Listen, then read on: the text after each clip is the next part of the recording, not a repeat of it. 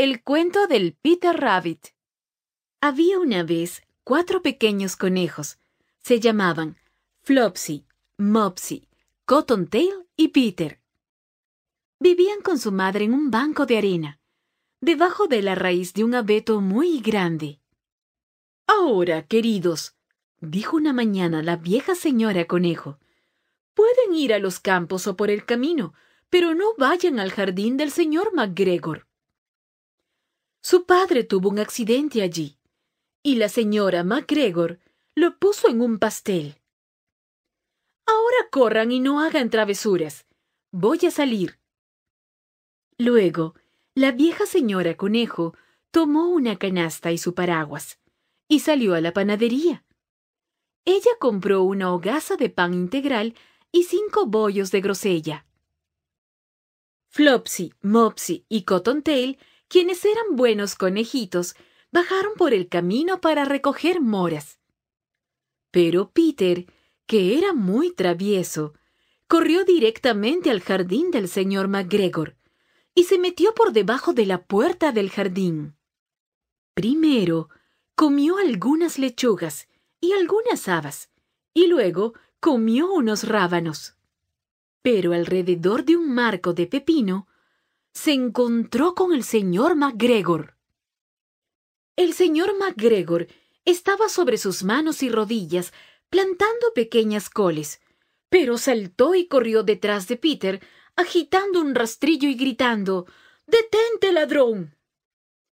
Peter estaba terriblemente asustado.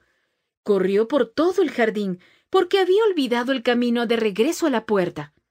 Perdió uno de sus zapatos entre las coles y el otro entre las patatas. Después de perderlos, corrió en cuatro piernas y fue más rápido, por lo que creyó que podía escaparse por completo.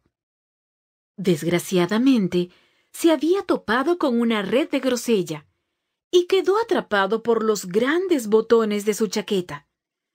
Era una chaqueta azul con botones de latón, bastante nueva. Peter se dio por perdido y lloró grandes lágrimas, pero sus sollozos fueron escuchados por algunos gorriones amistosos, que volaron hacia él con gran entusiasmo y le suplicaron que intentara liberarse. El señor MacGregor vino con un tamiz, el cual tenía la intención de atraparlo, pero Peter logró zafarse justo a tiempo, dejando su chaqueta detrás de él. Peter corrió al cobertizo para herramientas y saltó a una lata. Habría sido una cosa hermosa esconderse si no hubiera tenido tanta agua. El señor MacGregor estaba bastante seguro que Peter estaba escondido en algún lugar del cobertizo de herramientas, quizás debajo de una olla de flores. Comenzó a voltearlos cuidadosamente mirando debajo de cada uno. En ese momento, Peter estornudó. ¡Achí! El señor MacGregor lo persiguió en poco tiempo.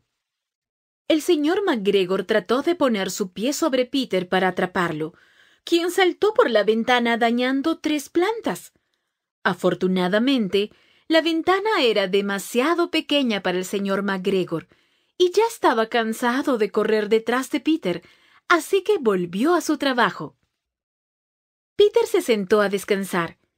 Estaba sin aliento y temblando de miedo, y no tenía la menor idea de qué camino tomar.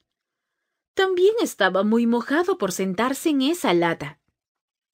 Después de un tiempo, comenzó a caminar, avanzando, yendo con lentitud y mirando a su alrededor.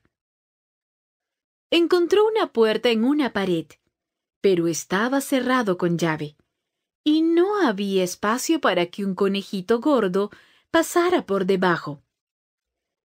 Un viejo ratón entraba y salía por la puerta de piedra, llevando chícharos y frijoles a su familia en el bosque. Peter le preguntó el camino hacia la puerta, pero él tenía un guisante tan grande en la boca que no podía responder. Él sacudió la cabeza hacia él. Peter comenzó a llorar de nuevo.